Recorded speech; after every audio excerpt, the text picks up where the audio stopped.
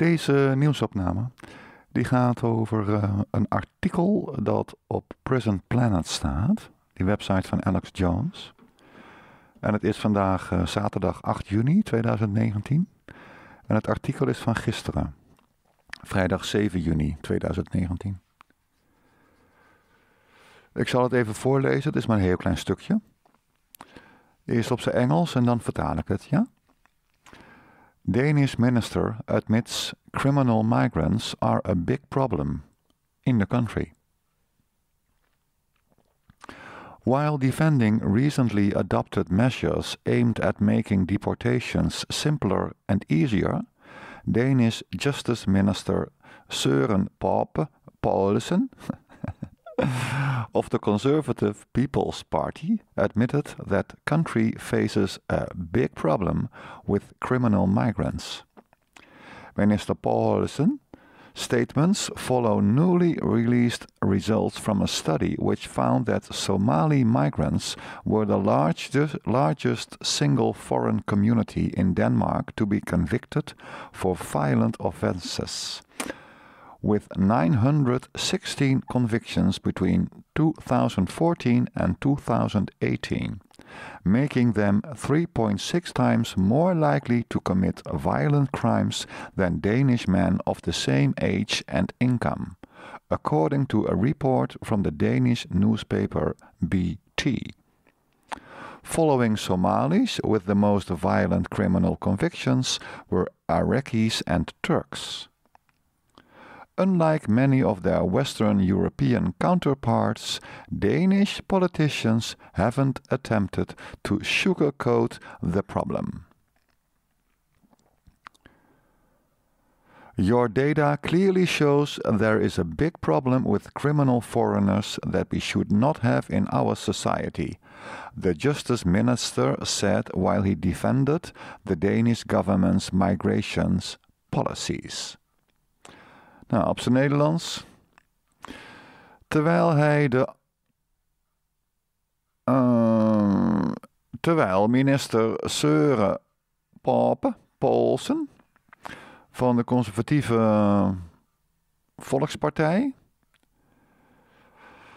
Dat hij uh, de recente maatregelen om het deporteren van buitenlandse mensen eenvoudiger en simpeler te maken of eenvoudiger en makkelijker te maken? Gaf hij toe, of stond hij erbij stil, dat het land een heel groot probleem heeft met criminele migranten.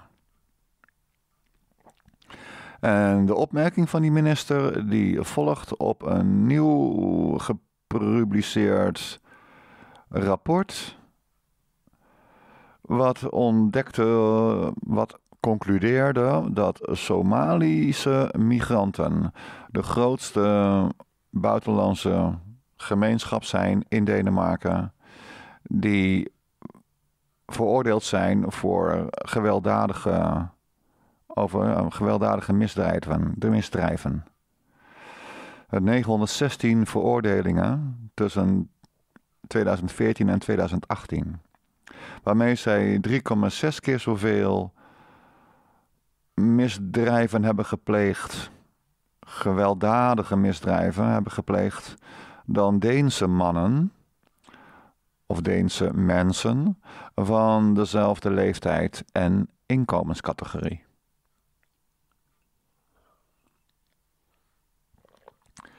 There you go.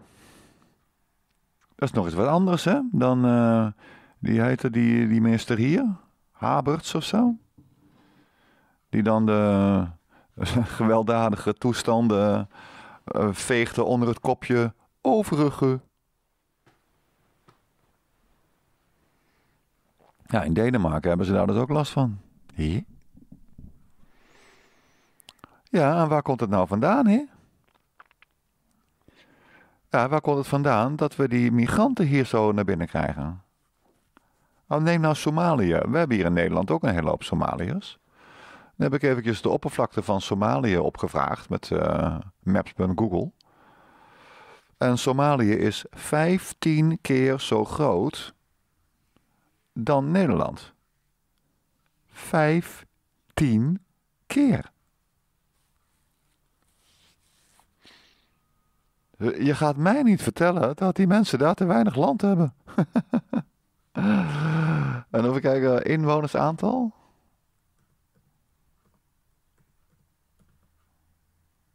Hoeveel inwoners heeft Somalië? Nou, er wonen 15 miljoen mensen. In een land wat 15 keer zo groot is. Uh, wat doen die lui hier?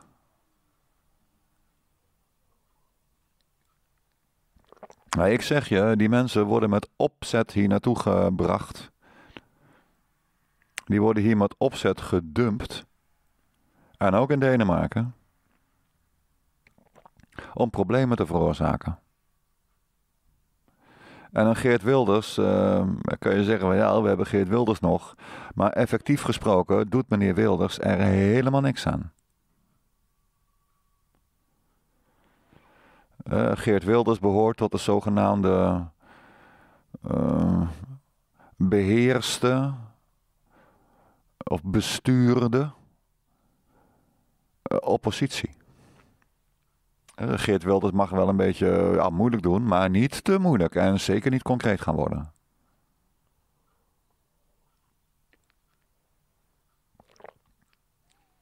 Wel, wij, zouden, wij zouden momenteel kunnen stellen van we betalen punt 1 niks meer aan de Europese Unie.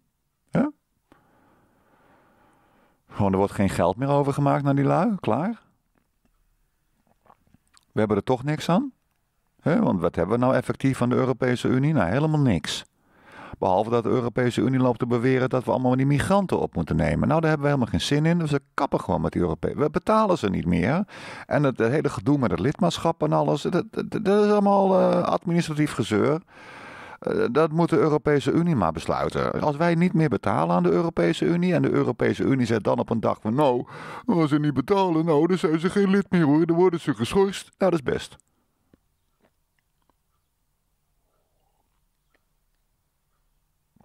Ja, toch? Maar dat regelen ze maar in Brussel. Ja, uh, niet uh, ons probleem toch? Wij betalen niet meer. Gewoon niet meer betalen. En wat gaat Brussel dan doen? Tanks sturen? Het Europese leger op ons afsturen? En uh, politiebureaus gaan bezetten of zo?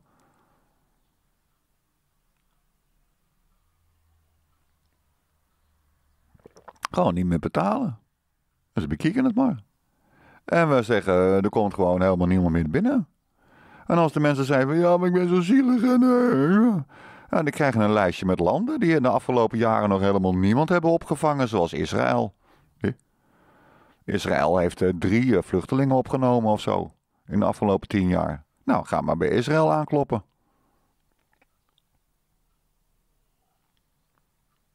Saoedi-Arabië hebben ze ook poen genoeg. Ga daar maar naartoe. Ja. En uh, gewoon niet meer e- eventjes niet meer naar Nederland. Totdat we hier alle problemen hebben opgelost. En al die buitenlanders allemaal netjes uh, geïntegreerd zijn, spreken allemaal netjes Nederlands, uh, zijn niet meer bij het minste of geringste beledigd. En, uh,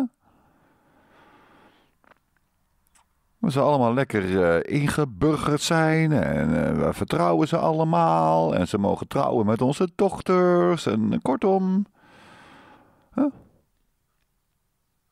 En ook onderling natuurlijk, hè, dat uh, de Turkse dochters die worden uitgehuwelijkt aan uh, Marokkaanse gezinnen en zo, Marokkaanse mannen. Dus de Turken en de Marokkanen, dus één, dat is allemaal lekker koek en ei. En de Turken en de Koerden, die zijn in Nederland allemaal blij en die gaan lekker met elkaar om. En ja, lekker één grote harmonieuze diversiteit. En als het dan helemaal lekker draait, nou, dan kunnen we er weer wat bij. Maar momenteel is dat helemaal niet. Ja, maar en tussen die lui onderling, man.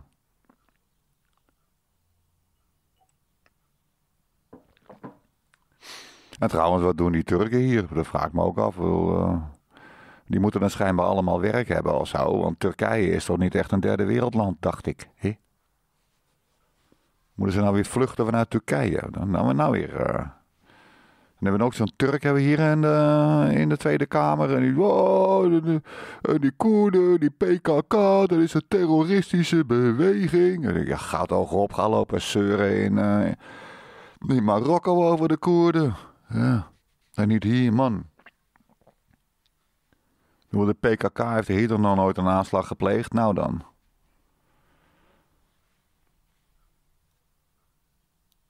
Nee, dan worden wij nog een keer mede betrokken in het conflict tussen die Turken en die Koerden. Wat die Turken trouwens over zichzelf hebben afgeroepen. Want wat hebben ze gedaan, die Turken? Laten we daar even mee beginnen. Eh, met de vrede van Lausanne. Eh, Lausanne, eh, daar in Zwitserland, er is een vrede getekend. Want de Turken hadden ruzie met de Grieken. Dus er moest even een vredestekening, contract, contractondertekening komen. Toen hebben ze en passant in het voorbijgaan hebben ze de regio die wij noemden Koerdistan, hebben ze in vijf stukken gehakt. En een stuk werd aan Turkije gegeven. En dan moeten die Koerden allemaal blij mee zijn.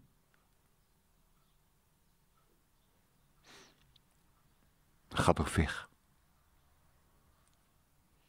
Dan gaat hier dan een beetje lopen zeuren, zo'n Turk, en uh, Iemand anders van GroenLinks of van de SP, die wordt, ach man, die wordt er helemaal, helemaal ziek van. Eerst maar allemaal lekker harmonieus met elkaar omgaan. Net als de Groningen met de Friese. Die maken ook al jarenlang geen ruzie meer. Behalve op de Pinkstermarkt, maar dat gaat dan om een meisje. Iedereen was dronken. Dus ja, daar kan je ook niks aan doen. De politie kwam niet eens. Dat werd onderling wel uh, opgelost. met een paar stevige klappen. En een paar jongens met een blauw oog. Ja, dan moet je ook maar van die Friese meisjes afblijven. Hé? Met je stomme, dronken Groningse kop.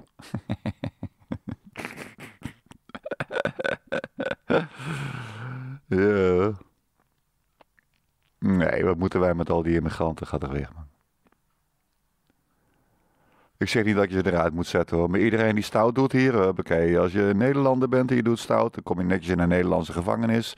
Ben je een Turk hier en je doet stout, dan ga je netjes naar de Turkse gevangenis. Doei. Ja toch? En ik wilde gedoe met die Baybassin. Die Baybassin, hoe zeg je dat nou? Die Turk die hier in een Nederlandse gevangenis zit. Dat wil ik wel eens eventjes opgelost hebben. Hoe zit dat eigenlijk in elkaar? In elkaar, al, toch? Nou dan. Nou, dat vond ik wel even weer genoeg voor vandaag. Met een mededeling over uh, dat die Deense minister uh, van uh, Justitie, die, die ziet tenminste het probleem. Die agressieve criminele lui, die moet je helemaal niet hebben. Ga toch weg? Dat is idioterie.